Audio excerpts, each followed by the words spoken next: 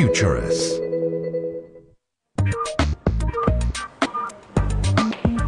The offices, shopping centres and homes of the future should be clean and green. Buildings that incorporate innovative and intelligent design to keep energy use to a minimum. Today, more than half the population lives in cities, and that will increase, which means cities and energy consumption is a central theme of the future. Buildings are consuming almost half of the energy of a country. So if you solve the energy problem of buildings, that means you are going to solve the energy problem of a country. Ursula Eicker and Zerrin Yilmaz are on a mission to make the cities of the future as energy efficient as possible. From their universities in Stuttgart and Istanbul, they're collaborating on a European Union research project mixing real-life case studies with laboratory modelling. Much of their work focuses on those symbols of city life, soaring glass-fronted office blocks. Those are high-rise and high-tech buildings having uh, very complicated automation systems, but still uh, there are so many possibilities to reduce the energy consumption through different kinds of passive strategies. Passive systems help keep buildings the right temperature without relying on power-hungry machines. Here at Stuttgart Technical University, these fierce lamps simulate the sun beating down on an office window. Keeping the room inside cool is more difficult than keeping it warm. When you talk about heating, we know how to do it well. We wrap them up well, we insulate it well, good windows, and you have no problem. Especially with offices, there are so many computers, lighting, people, things that generate heat. But how do we keep these buildings cool in summer, even in Germany, where the climate is not that hot? It's a problem. The system allows the researchers to test different types of shading systems in a controlled environment. We're not just examining sunshades, but entire systems.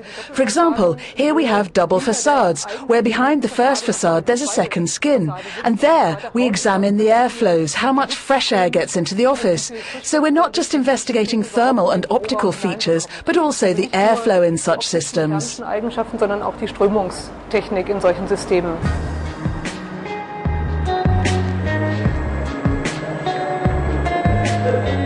German PhD student Tobias Schulze is working with his Turkish colleagues on a real-world example of urban development.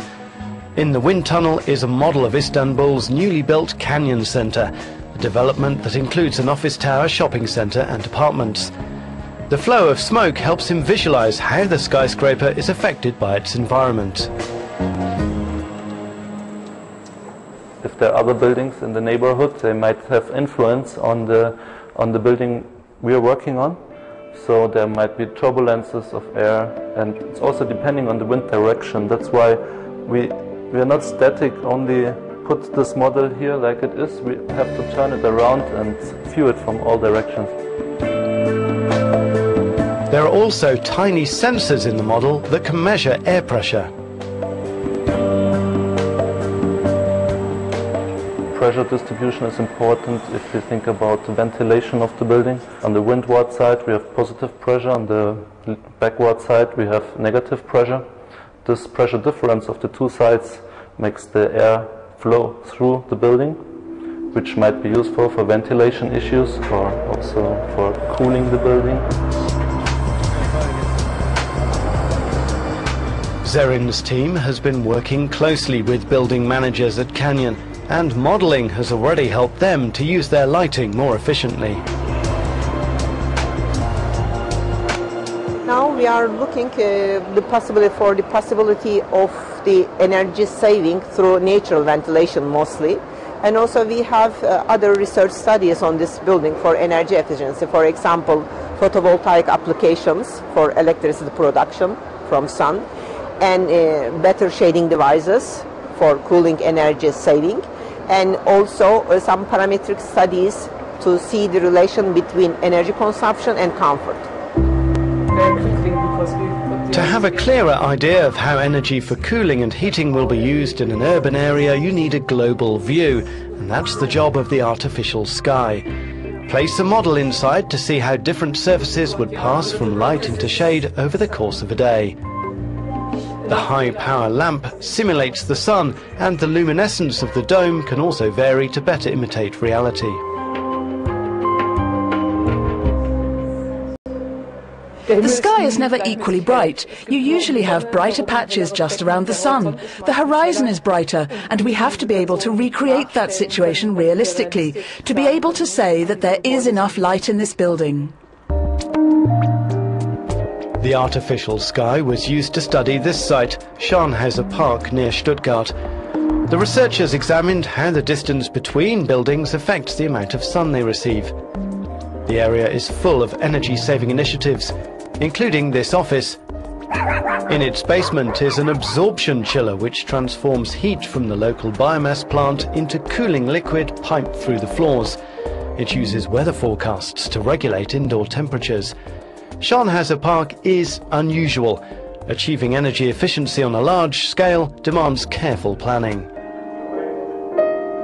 You have to find the best solution during the design stage and you have to test different design scenarios of the building to find the best solution for energy efficiency. If you can find the best solution, there is 50% energy saving possibility for these kinds of buildings and it's a huge amount because they are consuming a lot of electricity and natural gas for heating, cooling, lighting and so on. These researchers are learning how to best apply techniques such as passive cooling and natural ventilation in real-life, large-scale urban situations. But energy efficiency isn't simply a scientific and technical question, it's also a social challenge.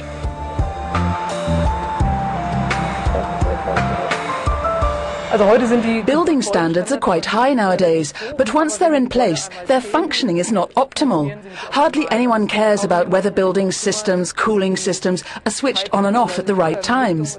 There's a lot of energy consumed for ventilation, which is unnecessary when hardly anyone is in the building. Lights are left on. It depends very much on the user, and he has to develop an awareness that he can actually save energy.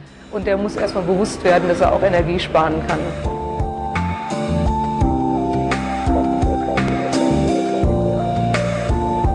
Developing truly energy efficient city buildings also requires input from those that live and work in them.